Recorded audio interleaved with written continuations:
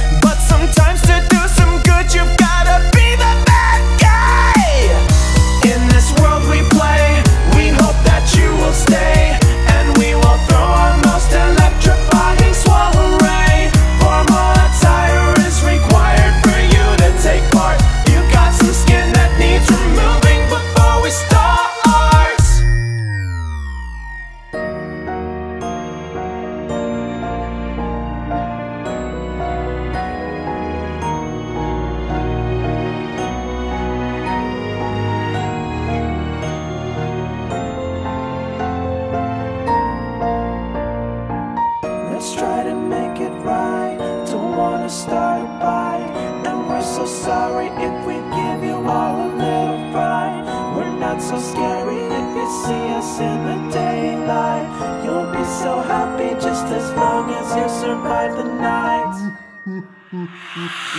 Let's try to make it right.